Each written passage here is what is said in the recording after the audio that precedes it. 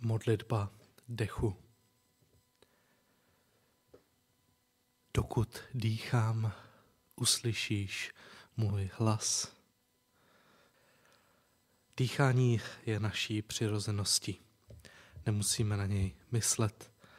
Probíhá na pozadí řízen automatickou funkcí naší nervové soustavy.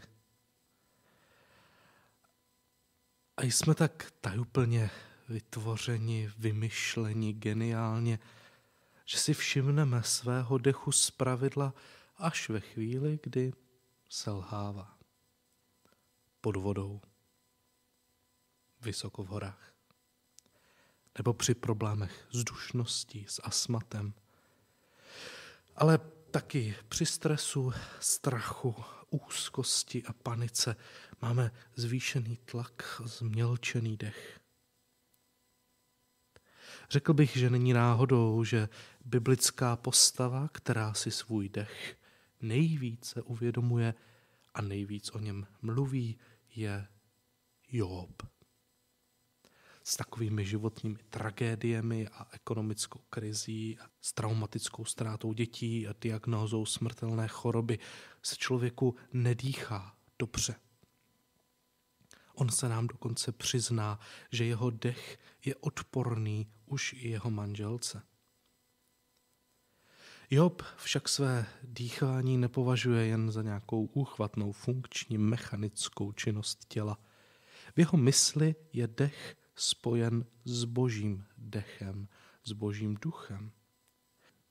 Když Jobovi nasloucháme my, moderní lidé, kteří víme, z čeho je složen vzduch, dovedeme ho rozebrat na molekuly a napsat vzorečky na tabuli a zjistili jsme, že v něm Bůh není asi tedy a rozumíme funkcím plic a máme zmapovanou každou jejich komůrku. Ale navzdory tomuto poznání jsme se zároveň ochudili o představu boží přítomnosti a milosti v našem dýchání. A tak se pojďme zaposlouchat do slov jedné z nejstarších biblických postav. Joba, který v takové světlejší chvilce uprostřed těch všech svých nářků vyznává.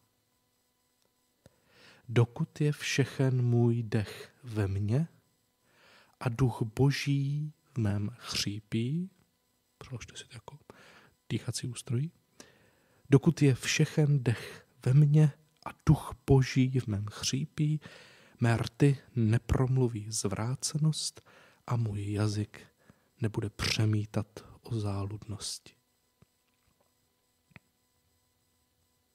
Jinak řečeno, dokud dýchám, uslyšíš můj hlas.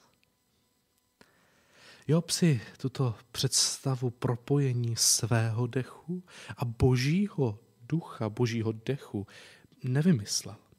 I on sám se inspiroval svými předky, příběhy, které se k němu donesly z dávných dob, že totiž kdysi, když Bůh tvořil člověka, vzal obyčejný zemský prach, utvořil člověka a vdechl mu dech a člověk se stal živým tvorem.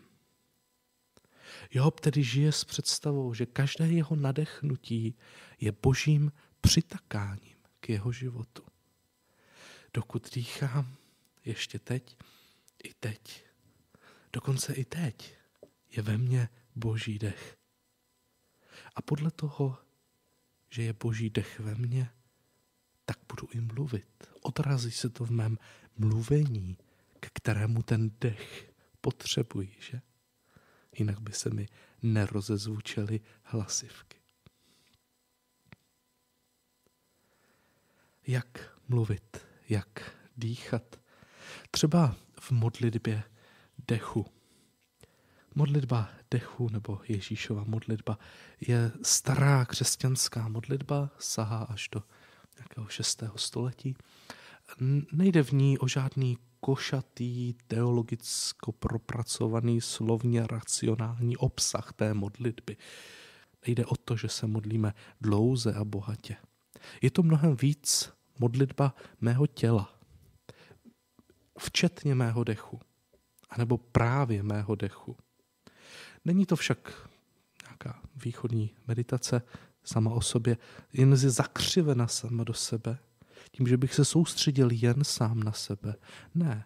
V této modlitbě se člověk natahuje ve své pozornosti k Ježíši Kristu celou svou bytostí, duší, protože se proto rozhoduje, duchem a dechem, který je v něm, i celým svým tělem, které nenechává pozadu nikde sedět.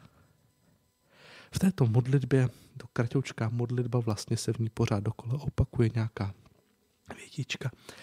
S nádechem v této modlitbě říkáme Ježíši, synu Boží. Ježíši, synu Boží a s výdechem smiluj se nade mnou. Ježíši, synu Boží, smiluj se nade mnou. Říkáme tu modlitbu většinou v duchu. Dosazujeme se v této modlitbě do role slepého žebráka u bran Jericha, který se takto, právě takto k Ježíši vztahuje. Je to opravdu modlitba celého mě. Vždyť s nádechem automaticky vzrůstá tělesné napětí. A tedy moje tělo je v napětí a spolu se slepým chudákem se natahuji pro pomoc, sbírám zbytky sil, volám k Ježíši, oslovuji jej přes překážky, které jsou okolo mě. Ježíši, synu boží, je natažená ruka, natažený duch a natažená duše směrem k Ježíši. A potom s výdechem zažívá celé mé tělo úlevu jen si vydechněte pořádně. Máme to i v našem jazyce, říkáme, oddechl jsem si. Uf, spadlo to ze mě úleva. A tak se slovy smiluj se nade mnou, člověk zároveň fyzicky prožívá to, jak se nad ním Bůh smilovává. Vždyť se obracím k němu proč by se nesmiloval? Tak Ježíši, synu boží, smiluj se nade mnou. A pokud mám krátký dech a tato eh, a natolik slov mi ten dech nevystačí, mohu se modlit jen Ježíši, milost, Ježíši, milost. Je to mnohem kratší. Výjde vám to i na krátký dech člověka, který je ve velké úzkosti. A když se takto stišíte, zvláště ve chvílích rozervaných emocí a strachu a úzkosti, nebo i hněvu, nebo když nemůžete spát, je to to nejlepší, co můžete udělat. Vždyť tím schází Bohu čest a sláva. Je to bohoslužba vašeho všedního života. Celou bytostí se totiž modlíte k němu. Moje výzva, zastavte se v životě sklidněte své myšlení a mluvení svůj dech. Buďte s Bohem v jeho blízkosti, ne ve vyprázdněném bezbřehem bytí, ale ukotveni na Ježíše Krista zjeveného v písmu, který vzkříšený sáří jako jasný bod před vámi. Pokud vás tato modlitba zaujala, zkuste ji zařadit modlitbu dechu do své zbožnosti pár minut denně jen dýchat ve stišení, modlit se. Ježíši, synu boží, smiluj se nade mnou, anebo jinou modlitbu, jiný biblický verš, který si dosadíte a který má v sobě podobnou dynamiku a kterým se vztahujete k Ježíši. I tento způsob chce cvik, možná vám to nepůjde na poprvé, ale když člověk má něco naučeného, tak se to dá potom využít. Občas jsme v životě v tak těžké situaci, že nevíme, jak se modlit. A někdy nám dochází dech a zbývá nám jediné prosit Ježíše o smilování. To je moje výzva. A když eh, už jsme u těch tělesných funkcí dýchání k oslavě Boží, zvláště dnes, přátelé, myslíme v modlitbě na ty, kteří trpí onemocněním dýchacích cest, lapají po dechu, jsou na přístrojích, ale i ti, kteří jsou v úzkosti a sevření, nedýchá se jim dobře. Prosíme, pane, abys jim obnovil dech, vždyť náš dech je tvým darem, jsme na tobě závislí, Vždyť ty dáváš všemu život, dech i všechno ostatní. Ježíši, Synu Boží, smiluj se nade mnou.